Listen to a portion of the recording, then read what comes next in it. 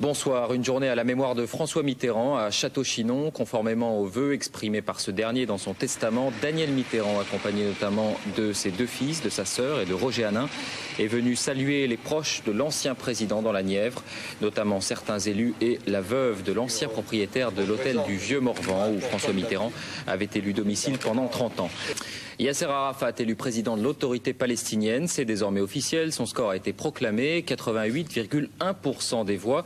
Le taux de participation atteint 85% dans la bande de Gaza, 74,5% en Cisjordanie. On ne connaît pas en revanche le nombre de sièges remportés par le Fatah au Conseil palestinien. On écoute Yasser Arafat. Vous savez, je me serais tout à fait contenté de 51% des voix. À partir d'aujourd'hui, le processus de paix est renforcé par ce vote. Et nous souhaitons continuer à le renforcer de plus en plus pour trouver une solution de paix durable dans toute la région. Ces élections constituent la fondation de l'avenir du peuple palestinien.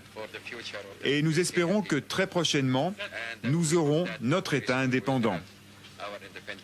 Cette question de l'indépendance est désormais sur toutes les lèvres. Le président de la commission électorale affirme qu'elle sera proclamée d'ici trois ans. Je n'en suis pas convaincu, a simplement indiqué en écho le Premier ministre israélien Shimon Peres. Enfin, sachez que Jacques Chirac a appelé Yasser Arafat pour le féliciter de sa victoire. Le ramadan débute dans la violence en Algérie. Deux voitures piégées ont explosé presque au même moment dans le sud et l'est du pays. Il y a deux morts et une quarantaine de blessés, dont de nombreux enfants. Par ailleurs, les accrochages entre forces de l'ordre et islamistes se sont multipliés ces derniers jours. Enquête sur les charniers en Bosnie. Un émissaire américain de haut rang a obtenu l'autorisation de se rendre sur l'un des sites. Il estime à 7000 le nombre de réfugiés bosniaques tués par les Serbes après la chute de Srebrenica. Les enquêteurs du tribunal pénal international de l'AE sont attendus sur place dans les prochaines semaines. Cette visite confirme en tout cas l'importance de ce dossier dans le processus de paix. Son règlement conditionne notamment la libération des prisonniers. Les témoignages sur l'assaut de Pervomaïskaya au Daghestan contredisent de plus en plus la version officielle russe et le compte-rendu qu'en a fait Boris Yeltsin lui-même. Après les otages qui ont survécu, ce sont les soldats russes en première ligne qui livrent leurs témoignages sur ce qui s'est vraiment passé. Olivier Pouls.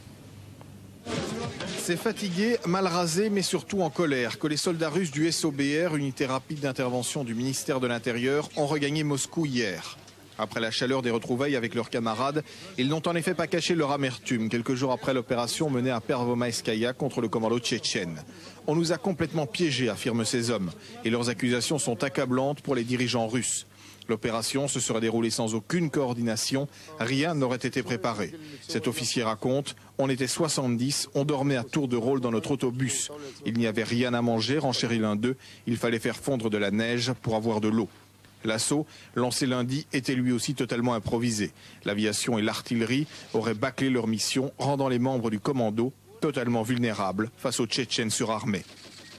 Une série de déclarations confirmées par le témoignage d'ex-otages et même de combattants tchétchènes. En fait, Boris Yeltsin n'aurait eu qu'un seul objectif, écraser les rebelles, quel que soit le prix à payer. Mais paradoxe de l'histoire, se sentant tous piégés, les différents protagonistes auraient alors décidé de collaborer pour sortir de la crise. Les troupes d'élite russes auraient même aidé les Tchétchènes à s'enfuir. Et les indépendantistes qui retiennent toujours des otages se sont dit prêts ce dimanche soir à les libérer, sauf les 16 policiers russes qui figurent parmi eux. Attentat en Bulgarie, trois personnes ont été tuées et deux autres blessées à Sofia, la capitale, euh, après l'explosion, une explosion provoquée par un homme qui fait partie des victimes. Pas plus de précision pour l'instant. La ville de Mexico tourne au ralenti en raison de la pollution. Un très fort taux d'ozone a été enregistré ces derniers jours, provoquant vomissements et troubles respiratoires. Seules les voitures, dont le numéro d'immatriculation est pair, ont le droit de circuler. L'activité industrielle a été réduite de 40%. En France, triste anniversaire ce dimanche, celui de la catastrophe aérienne du Mont-Saint-Odile. 87 morts, c'était il y a 4 ans, jour pour jour. À cette occasion, les familles des victimes ont défilé à Strasbourg pour protester contre l'imprécision du système de navigation. Armel Delafont. Une bande de rubans de chantier rouge et blanche déroulait ce matin dans les rues de Strasbourg sur 2 km 400. Le geste à valeur de symbole, symbole de la trajectoire dont l'Airbus A320 s'est éloigné 2400 mètres précisément. C'était il y a 4 ans, jour pour jour, le 20 janvier 1992, l'appareil s'écrasait sur le mont Saint-Odile. À quelques semaines de la fin de l'enquête, il s'agissait pour les familles des victimes d'insister une fois encore sur l'imprécision du système de navigation. Celui-là qui indiquait à l'équipage qu'il se trouvait dans l'axe de percée dans sa manœuvre d'approche pour l'atterrissage, alors qu'en réalité il en était éloigné de 2400 mètres, comme si le pilote avait vu le terrain plus à gauche que prévu, avait donc plongé plus rapidement vers le sol pour finalement accrocher la dernière colline venue. Quatre ans après, les causes exactes de l'accident ne sont toujours pas élucidées, un accident qui aura coûté la vie à 87 personnes. Les pertes de la SNCF devraient atteindre 17 milliards de francs en 95 contre 11 milliards prévus initialement. C'est l'hebdomadaire La Vie du Rail qui l'affirme. Motif, entre autres, de ce décalage, les grèves qui ont coûté très cher à l'entreprise. Sortie de crise au Grand Orient de France, la principale obédience maçonnique, 37 000 membres, a élu un nouveau grand maître, l'avocat bordelais Jacques Lafouge, proche de son prédécesseur Jacques Kessel, démissionnaire en septembre. 13 incendies depuis le début du mois. Une mystérieuse série de sinistres touche la commune de Moiran en montagne dans le Jura. Une habitante de 50 ans et un pompier qui tentait de la secourir sont morts vendredi dans l'incendie d'un pavillon. Christophe Buzine. Moiran en montagne ou la malédiction? Depuis le début du mois de janvier, 13 incendies se sont déjà déclarés. Samedi, la même maison a été par deux fois la proie des flammes. Lors du second sinistre, un pompier est décédé, ainsi que la fille de la propriétaire. L'oncle de la victime est encore sous le choc. Ma soeur est venue coucher chez nous parce qu'elle ne voulait pas rester là. Ma nièce n'a pas voulu venir. On, on voulait qu'elle vienne, elle n'a pas voulu venir, elle a voulu rester. Et puis, à, 8h30 du soir, ça sonne la sirène. Ah ben je dis, alors c'est le, comble là. Je descends, c'était un feu partout. Les habitants du village ne croient pas à l'hypothèse d'un pyromane, mais ils soupçonnent des lignes électriques souterraines d'être à l'origine du drame. Comment voulez-vous que ce soit un pyromane Puisque c'était, ça a pris feu dans l'après-midi, ça s'est arrêté, ça reprend feu le soir. Pourquoi un pyromane? Il y, avait, il y avait quand même du monde ici. Pourtant, EDF se défend de toute responsabilité toutes les mesures effectuées permettent de, constater qu'il n'y a aucun, aucun lien entre ces incendies et des montées de tension, circulation de courant par les terres. Le mystère reste donc complet, mais la solution devra vite être trouvée pour éviter une nouvelle tragédie. Fait divers encore, vous vous souvenez sans doute des frasques de cette mamie voyageuse qui dormait dans les meilleurs hôtels et filait sans payer la note.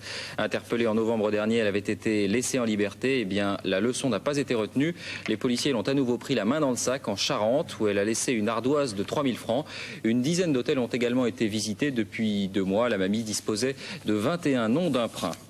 Sport, ski, une victoire française en slalom, la première depuis 4 ans, celle de Sébastien Amiez, 23 ans, à Vezona en Suisse.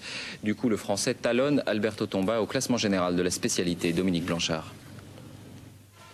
Depuis qu'il accumulait les bonnes performances, on savait que Sébastien Amier allait un jour réussir la course parfaite. Deuxième à Veil, troisième à Kranjka Gora, cinquième à Flarao et quatrième l'autre jour à Kitzbühel. Bastoun, comme on l'appelle, était régulièrement sur le podium ou pas très loin.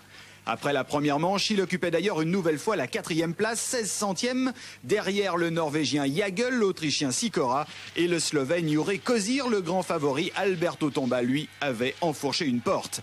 Alors dans la deuxième manche, sachant que l'Italien était éliminé, le skieur de Pralognan a tout donné, une glisse de rêve et sur la ligne, un chrono époustouflant qui le propulse à la première place. J'ai pris tous les risques et c'est passé. Et puis je gagne, et ben c'est vraiment génial.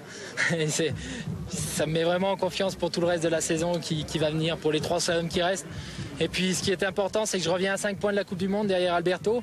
Et je crois qu'il y a vraiment une chose à jouer maintenant de ce côté-là. Avec Alphand en descente et maintenant Amier en slalom, le ski français avec un grand A retrouve du tonus. C'est plutôt bon signe à 15 jours des championnats du monde en Sierra Nevada. Toujours sur la neige, une autre victoire française ce dimanche. Sylvain Guillaume remporte le combiné nordique de Liberec en République tchèque. Là encore, c'est le premier succès français dans cette discipline qui marie saut et ski de fond depuis les Jeux d'Albertville et le titre olympique de Fabrice Guy. Si vous habitez le sud de la France, attention au mauvais temps. Demain lundi, Météo France publie un bulletin d'alerte, alerte à la pluie et à la tempête, notamment en Midi-Pyrénées. C'est la fin de cette édition. Bonne fin de soirée, bonne nuit.